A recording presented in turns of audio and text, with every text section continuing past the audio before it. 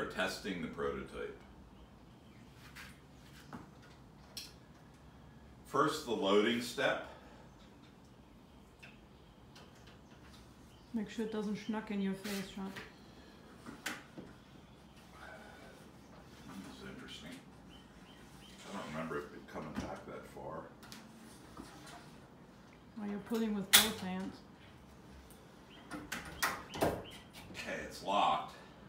Yeah, this is what I was worried about. You see the bowing? I was worried about that. That's an issue. See how it's bowed? I'm sure it'll work, but that bowing is not good. So I might have to go to a heavier shaft. I, the concept will work, but I might have to go to a heavier shaft. So let's fire this and just see what it does. But let me get away from the danger zone.